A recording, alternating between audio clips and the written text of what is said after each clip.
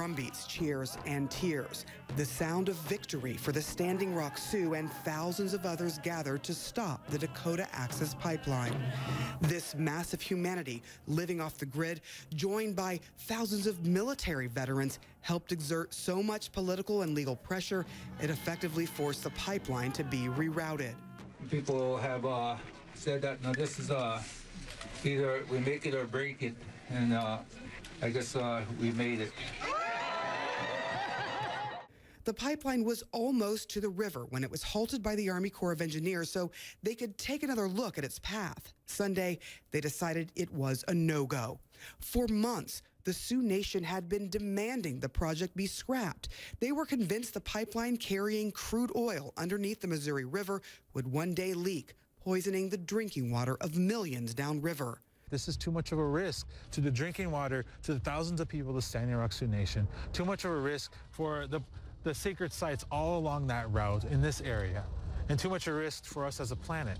The pipeline's planned route did not go through Indian reservation land, but the tribe argued the water is part of treaty land, and therefore they too must agree on its path. So you were offered $5 million and some land by both the landowners and the Dakota Access Pipeline. Yes. And your response to that was? We don't want the land. We don't want money. Instead, they wanted to protect the water. As the spiritual leader of this camp, Lee Plenty Wolf, has been praying for divine intervention. He says his people foretold of a dangerous force that would lead to ruin. What are the prophecies? Well, ours is uh, uh, uh, the black snake, which is uh, the pipelines, the oil, the, the, the, the blood of Unci Maka, grandmother Earth, and they're sucking that all out. It's self-destruction, a fast road to self-destruction. North Dakota's governor says the pipeline was 95% complete. The company was waiting on that final permit. It's not getting it.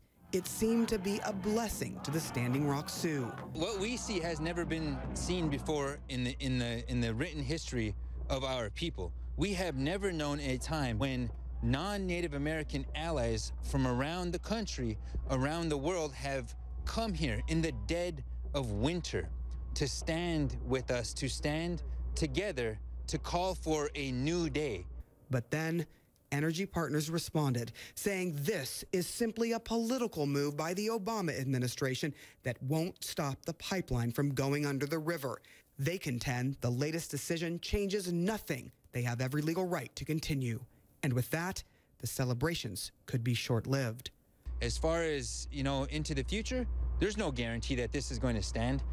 If, the, if President elect Trump could override what just happened today on January 20th and grant that easement, then we're in for a world of hurt. Nothing has changed for us.